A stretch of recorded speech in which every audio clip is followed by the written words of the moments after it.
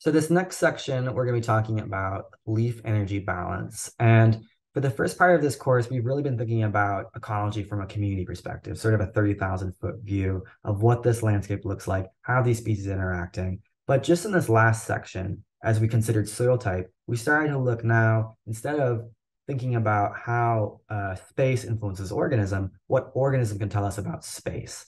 And so we looked at the leaves of Baccharis and used that to tell us something about um, the abiotic factors present in that system. And this gets us into an area that is called physiological ecology. And it's a lot of the work that I do um, in my research. So I want to talk a little bit about the value of physiological ecology and why it's important, especially for conservation. So here again is uh, the Marin Headlands, uh, areas where I work in studying grassland and shrub encroachment uh, in native habitats.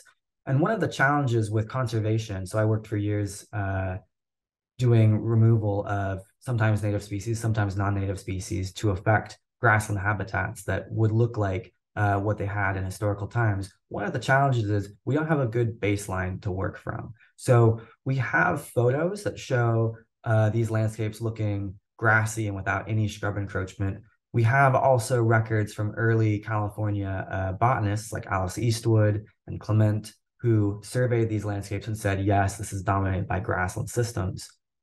But as it turns out, those landscapes were essentially already impacted by 150 to 200 years of Spanish ranching that already modified this space. So as a result, we don't have a good way to know what the landscape looked like historically. And when we're and when trying to affect restoration on a landscape, we don't have necessarily a good idea of what would be the most effective or sustainable or functional system to plant and model our restoration around. Grassland systems, unlike forests, especially the redwoods, tend to be pretty ephemeral.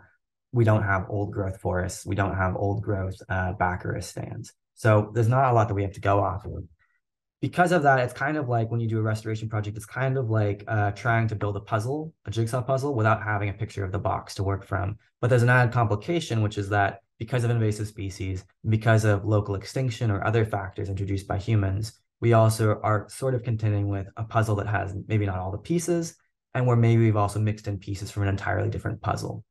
So if you're going to try and solve a jigsaw puzzle with those limitations, what you'd want to do is you'd want to look at where the edge, edge pieces are. You'd want to look at the color. You'd want to look at the shape and start to sort your pieces accordingly rather than just trying to get a sense of that landscape, trying to get a sense of that puzzle simply based on where the pieces fell when they came out of the box. And so that's what we do with physiological ecology is we look at individual components of species, their attributes, their proclivities, um, and use that to get a sense of what sorts of restoration goals function around those limitations and uh, attributes of the plant we're studying. So a place I really want to start then is thinking about leaf tissue. And leaf tissue is fundamentally important to this conversation because when we look at plants and we look at California from that 30,000 foot perspective, California is green. And whatever system you go to, you'll find that green tissue is what is driving the conversion of the sun's rays into energy that then drives photosynthesis. And so, in thinking about this, we need to start with leaves. And then thinking about leaves, this is a question that very much comes back to the patterns that we saw with radiation and how leaves receive that radiation. So, it's very much a question of climate, both micro and macro. So recall that we've discussed how hemisphere and latitude of California will influence our macroclimate, where we are with respect to the sun throughout the year, the angle of the earth, um, the season. We can also think at a closer scale. So here where I am on Berkeley, um, the topography, are there buildings that are reflecting sunlight or casting shadow? Is there canopy cover? Uh, how is hill slope influencing uh, incoming radiation? What about altitude? So that informs a microclimate. But then we get to something that's almost a uh, nanoclimate, which is the leaf itself. So that speaks to angle of leaf, texture of leaf, size and shape.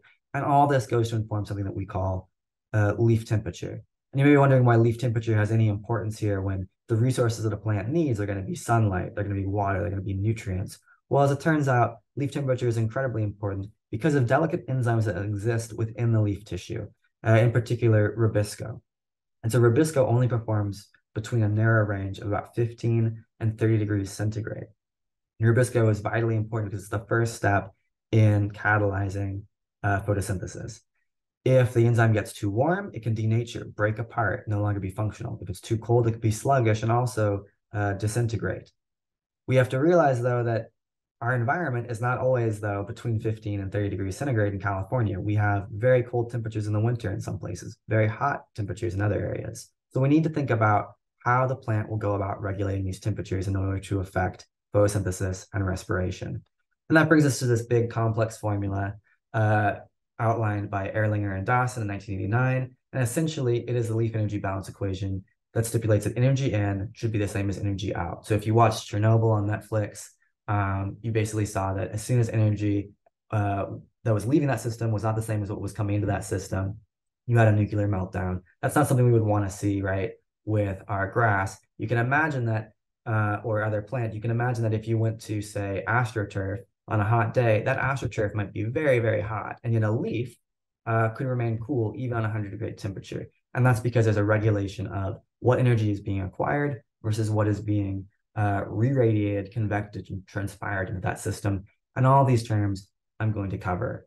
So I know that showing an equation like this can be a bit daunting, especially for folks who are not math people. I'm not a math person. That's why I went into ecology. I especially don't like math when there's more letters than numbers but I want to kind of briefly cover what these terms mean so then we can think about what they look like in the field. And I think you'll find it's actually pretty accessible. So our terms to the right side of our equation, the absorbed radiation of our leaf, this includes things like absorbed radiation that is active for our plant to digest uh, for photosynthesis. That's what our term A means.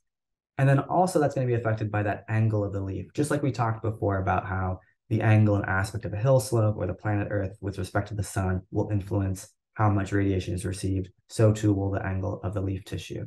And then on that similar vein, uh, if that light is being received directly or indirectly by the leaf, maybe bouncing off a building or uh, through a canopy, will also influence um, how much radiation is being absorbed. Also, what comes to the sun is not just light that we can see and light that a plant can use for photosynthesis, but it's also going to be thermal radiation. So that includes then a term of emissivity, which is an absorption coefficient for thermal radiation, and then also all that other thermal radiation that exists in our system and is being re-radiated from our system. So I want us to first think about those absorption coefficients and what that looks like. So let's think about then what we're seeing as radiation comes in from the outside environment and reaches um, our leaf tissue. So we call this shortwave radiation from 100 to 250 nanometers that area of one to 400 uh, nanometers, that's UV light. Fortunately, most of that gets screened out by uh, the atmosphere. So we have the ozone layer to thank for that. Then we've got this area from 400 to 750, which is called visible. That's what our eyes can see. Um, other critters can, of course, see outside of those bands of wavelengths, but that's what our eyes see. It just so happens that those wavelengths pretty closely match up with what we call PAR or photosynthetically active radiation. So that's what plants are making use of. And then near infrared is all of that long, longer waved radiation that is um, essentially heat.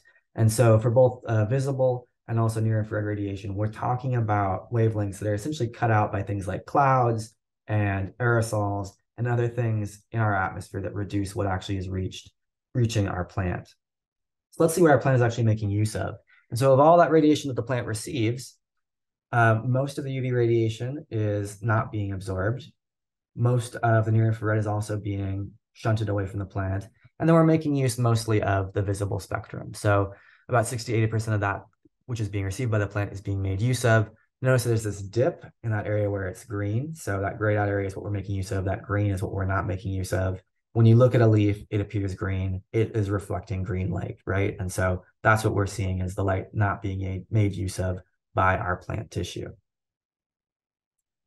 So then I want to talk about that direct and diffuse element. So you can imagine that some plants may be in full sunlight, but other plants may be in the canopy of a forest. And so the light they receive may be filtered um, through layers of foliage. If you're even a leaf that's just uh, not as close to uh, the canopy, but is maybe closer to the trunk of the tree, you may also experience less direct sunlight. So there's going to be a filtering effect that will uh, lead to less light that is direct, intercepting most of our plant tissues. And plants will also, uh, in those full exposed leaves, uh, create modifications to also limit light exposure. We can look here at a lupin on the top right. It's using hairs that help to diminish that light exposure, just like hairs on your head could prevent you from getting a sunburn on your scalp versus areas of your body that have less hair, more likely to get a sunburn. So too, we see that with um, with these leaf hairs. But plants don't have to use hairs to uh, diminish that direct light. You could also use waxes and other coatings. So here we can see um, a red cedar that has this waxy coating. It's almost like sunscreen, blocking some of that light from being absorbed, changing what we call albedo, so reflectivity that allows for less heat to be absorbed and essentially to be reflected. And then the aspen's an interesting example because quaking aspen, the leaves tend to shimmer and it's sort of like when you have a pancake and you flip it so it doesn't burn. Those leaves are constantly shimmering in the breeze, so they're never too long in that direct sunlight. Let's also think about leaf shape. So if you look at something like a maple leaf, you'll notice that there's all these dissections. There's kind of these inlets, which we call um, uh, these dissections, these, these sinuses, and then these areas that extend, these peninsulas, which we call lobes, sort of like a lobe of your ear.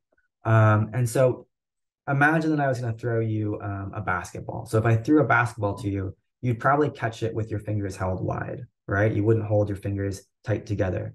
And so we often think of leaves that develop in shady conditions as being larger in size as a way to maximize the light that you receive. But one drawback from this is that if you have a larger leaf, you have to also maintain that leaf. There's overhead costs associated with building a bigger leaf. So what a tree like this is doing is extending that tissue out further, just like we might extend our fingers to catch a basketball. And in that way, we are maximizing our interface with the environment around us, maximizing our potential to absorb that dappled light as it trickles down through the canopy. Also, when we have this dissection, it allows us to have more interface with the environment around us, so more opportunity for gas exchange. Recall that leaves are where not only are we performing photosynthesis, but in order to do so, we have to access CO2 that'll be internalized and coupled with water to produce sugar, which is our battery for housing energy. So looking at Quercus, which is the genus for um, oak trees here in California, you can actually see that there's an interesting distinction between deciduous and evergreen oak trees our deciduous oak trees have lots of this lobing, lots of this dissection. Our evergreens do not. And so here we can see that there's more interface with our deciduous trees between the environment and the leaf tissue, which means more opportunity for gas exchange, more opportunity for photosynthesis. And they need that because those leaves are only going to be in the tree for a brief period of time. Again, notice that there's some discolorations or variation in color between these leaf tissues, such as our blue oak, our Quercus douglasii. And so looking at that, that tells us again about how the effects of leaf color can also help to mitigate uh, incoming solar radiation. We can also think then about texture and thickness in addition to color. So here you can see two Arctostaphyluses, both uh, are manzanitas. I found them growing in the Sierras in close proximity to one another. So they have essentially the same environment, and yet they've adapted, even while of the same genus, in very different ways to that space. So again, we can see that there's variation in color, which means that that lighter leaf may be more reflective of heat uh, than that greener leaf, Arctostaphylos patula. Notice that there's something in common. Both leaves are very thick. So if we look back at the uh, leaf that we saw from our maple tree with those dissections, we saw a lot of light coming through that tissue. We don't see light coming through these leaves. So instead of trying to catch a basketball, here this is sort of like trying to catch a baseball. And you can imagine if you're in the outfield of um, Oracle Park and you're trying to catch that baseball and it's coming to you at 75 miles per hour, you want some sort of cushioning, right? You want a baseball mitt. And so having thicker leaves, it helps to cushion from the impact of direct solar radiation. It helps for more absorption of that light because it's only experiencing strong direct sunlight. And therefore, it's going to need more tissue to catch and dissipate that energy as it moves through the leaf. And also in having that thicker tissue, we also protect sensitive machinery.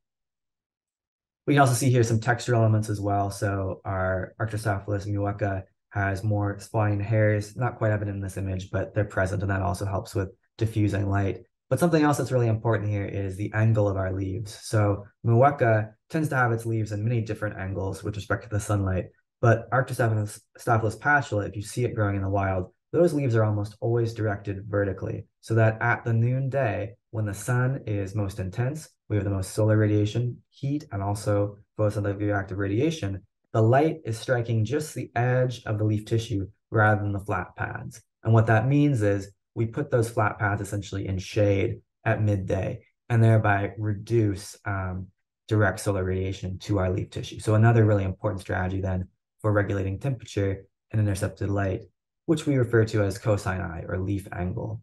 And here's a nice example from the redwood forest. You can see that um, it appears like the ones in the sun are starting to wilt, but the Oxalis oregana in the sunlight, they're actually just crimping in their leaves so that they have a more oblique angle to the sunlight, whereas those in the shade have let their leaves be flat at what we would call zero degrees with respect to um, the surface in order to maximize the indirect sunlight that they are receiving and making use of. So let's think about that other side of the equation, re-radiation, convection, transpiration. And I think a way that I like to think about this is essentially these characterize the differences between a passive heat loss and a more active heat loss, with re-radiation being more passive, transpiration more active, and convection sort of this middle ground between those two forms of heat loss. So if you're thinking about re-radiation, essentially we're talking about something called passive or sensible heat loss. Uh, you've experienced this if you ever touched a hot pan. Basically, if two things are of different temperature, uh, when they come in contact, they ultimately will ultimately will equilibrate, and the temperature will even out between the two objects. And so that is essentially all that re-radiation is speaking to with a leaf tissue. Notice in this picture, this thermal image of, of leaves, we see at those more fine dissected leaves at the tips, they're a little bit cooler in temperature than the uh, center parts of the leaves. So this tells us a little bit more about what we talked before about with um, dissection of leaves and exposure to environment. So when you have more exposure, more interface, you more rapidly come in equilibrium with that surrounding environment. And the effect that this has ties then into this idea of convection. So here's a photo of um, not a leaf, but a airfoil in a wind tunnel with smoke that was added. I think this picture was taken in the 40s. It was commonly a way to show aerodynamics of of cars and, and airplane wings and things like that. You can see these eddying currents behind that uh, shape. And those eddying currents are essentially speaking to an envelope of air that's trapped around that uh, material and also speak to a recirculation of air within that space such that we create a boundary between in this case, an airplane wing, but in our case, a leaf and the outside environment. All right. And so we refer to that as leaf boundary layer. And essentially, the leaf boundary layer is greater the more area we have to our leaf, the more hairs and textural complexity we add to our leaf. And the smaller uh, the leaf is, the more dissection we see, the smoother that leaf is, the less boundary layer that we experience. So a similar an, an analogy for this might be if you uh, walked into a field on a windy day versus walked into a forest, you would experience more still air, more consistent humidity in that forest than you would experience uh, in the field. And yet, even still in that field, you would still have a boundary layer. If you just laid down in the tall grass, you would experience close to the ground still air and possibly a different temperature and humidity. So that's what we're experiencing then with this convection forces and boundary layer that we experience on our leaves. And then finally, uh, I want to, well, before, I, before we get to our last point, which is transpiration, I want to also just show um, some examples of that. So you can see here with Lupinus arboreus, um, hairs on the leaf, which are essentially capturing and trapping, in this case, water droplets, but you can also imagine they're capturing and trapping um, air on that leaf. And notice also the, the fold of this leaf. So that's also creating um, a leaf angle that can affect um, uh, more oblique interception of solar radiation and also will lead to more diffuse light. And then an example of our redwood. So a redwood may be anywhere from zero feet if it's a seedling to 300, maybe even almost 400 feet tall. That means there's an incredible variation in climate across that across that height. And we can see here in our needles change in boundary layer that will affect change in leaf temperature. So at those lower leaves, where it's more regulated in temperature, humidity is consistent, temperature is cool. We see the leaves are outspread. This is also a way to maximize access to light.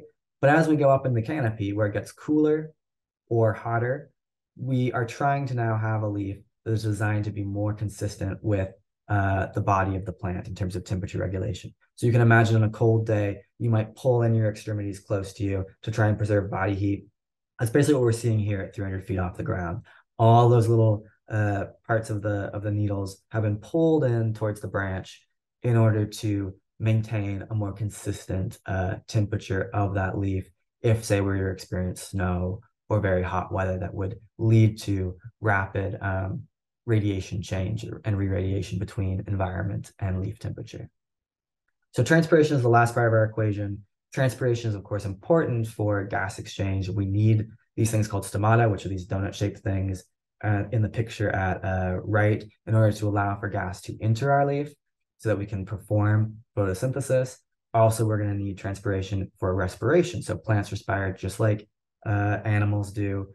When you exhale, CO2 leaves you, but so too does water vapor. So the act of transpiration will also mean the loss of water, which can be stressful for a plant.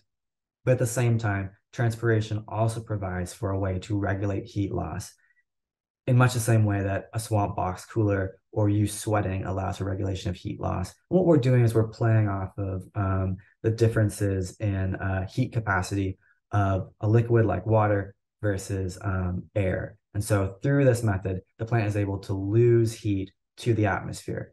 A caveat then is because we have that boundary layer, that boundary layer acts as a second uh, mechanism to slow moisture loss from the leaf by again affecting an envelope of air around that tissue and preventing um, moisture from simply wicking away too quickly from the leaf tissue. And the leaf can also adjust um, uh, transpiration by changing the aperture of those stomata to either prevent uh, gas exchange or enable gas exchange. And all this then speaks to uh, what will ultimately uh, be considered um, the heat loss through um, this evaporative forces. So when we start to put these together, we can get a sense then of what our plant is doing and how it's best designed for the environment in which we find it in. And I've included resources that can allow you to get accurate measurements of leaf size, uh, leaf temperature, and texture, and also a spreadsheet that can allow you to play with these different variables to get a sense of how when you manipulate different leaf variables or you manipulate different um, parameters of your environment, you can see different effects in terms of transpiration rate, leaf temperature, uh, or cosine i, and the other variables that we identified in this lecture. And I'm going to turn things now over to Amy for our uh, questions.